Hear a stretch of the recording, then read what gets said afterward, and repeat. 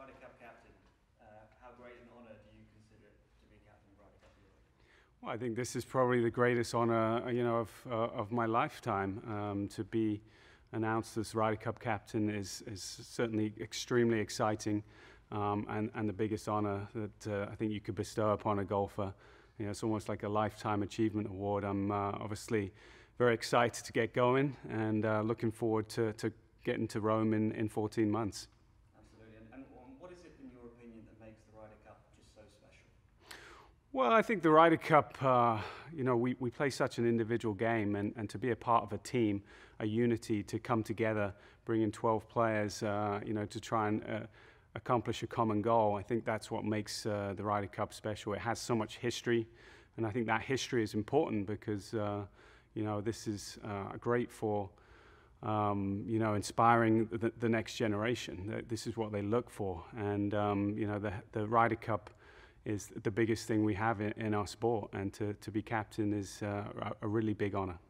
Absolutely, and, and you mentioned 14 months to go. How much are you looking forward to the journey ahead? Because it will be a busy one. Yeah, I am really looking forward to the journey. I think uh, it is a busy one. It's obviously a shortened captaincy, but um, you know, I think we have plenty of time to, to really get everything right and, and be prepared come, uh, come Rome in 14 months. Um, again, you've got to really enjoy that journey. This is uh, a special honor for me, a privilege, and uh, I look forward to working with all of Team Europe, uh, all the players, and uh, you know, having given ourselves a great chance come, uh, come Rome in 14 months.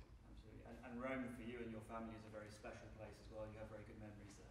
Yeah, myself, my wife, and I have uh, been there many times and uh, enjoyed the, the magical city. We've we, we love it there. Um, we've been to you know all the all the famous places, the Spanish Steps, the Colosseum, the Trevi Fountain. You know, walking around, enjoying dinners, enjoying uh, some nice gelato. Um, I mean, it's just a special place with uh, a lot of history and a lot of culture, and uh, it's going to make for an amazing backdrop for for this Ryder Cup. Just one more, if I may. Um, you'll be up, up against Zach Johnson in Rome, and a, a word about Zach, and, and the, looking forward to that, that sort of captaincy battle. Yeah, Zach and I are very similar ages. We've uh, kind of uh, forged uh, similar paths, I think, uh, in our golfing worlds. You know, very similar kind of games, um, both very very much fam family men. And um, you know, I'm looking forward to uh, going head to head against uh, Zach. It's uh, it's always been great to be around him. He's he's a gentleman. Uh, he'll be a great captain, and uh, again, I look forward to uh, um, you know our captaincy together.